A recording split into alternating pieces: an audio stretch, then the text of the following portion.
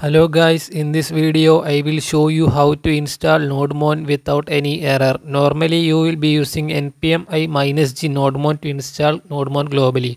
It will give you operation permission denied error. So all you have to do to fix this problem is to add sudo to the command. Type in sudo npm i-g NodeMon in the VS Code terminal and press enter. It will ask for your password and now you have to enter your password after pressing enter it will install. Now make sure to like this video and subscribe. Okay now the installation is complete.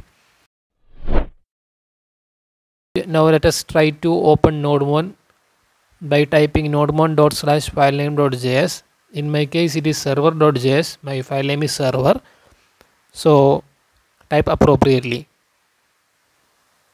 Okay now the nodemon is running uh, now let you can see that the port number is 3000 now open localhost 3000 yes it is working correctly.